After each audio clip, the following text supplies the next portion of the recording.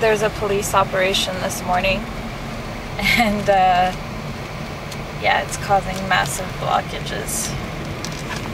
Um, I took the day off yesterday. I was very sick. And so today is going to be a very heavy day, and considering I'm starting it late, it's not a good start.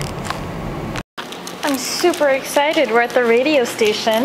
It's almost 8 o'clock, and at 8.30 it is my first ever fashion segment, which is what I have been dying to do.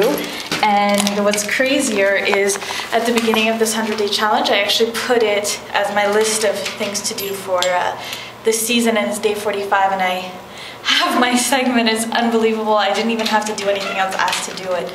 I didn't even put together a proposal, so it's pretty, pretty crazy. I'm very excited.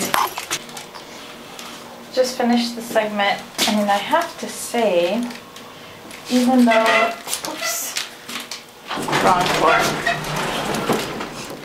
Um, even though it went well, it was actually a shorter segment than I thought, but even though it went well, I'm not feeling the vibe, you know? As much as I was excited, I'm not blown over. And the thing is that we have uh, somebody who works, like we're, it's a news station and we do, like it's news talk, so there's newscasts in between the talk shows and there's also traffic updates and the girl doing the traffic update um, he had her like sit along pretty much and like comment on everything I was doing. So I pretty much did all the work and the traffic girl got to like comment on everything.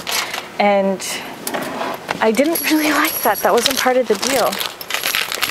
And so I don't know. I don't know. We'll see